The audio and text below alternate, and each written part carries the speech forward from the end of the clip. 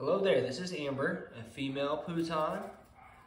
Amber was born on the 26th of January. She'll be 10 weeks old on the 6th of April.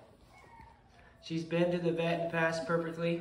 Does have a small umbilical hernia, just an outie belly button where mom pulled on her umbilical cord. So not a medical concern. We, we, we've already taken $100 off her price. That way, if you get that done at the time of the, the neuter, the spay, it'll heal faster than the spay and it won't cost you extra money that way because we've taken it off the price. So anyway, um, she's got a taller build, athletic build, I like that.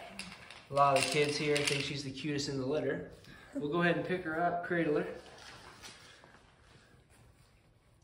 Today she weighed 2 pounds 14 ounces, charting her to be 11 to 14 pounds as an adult.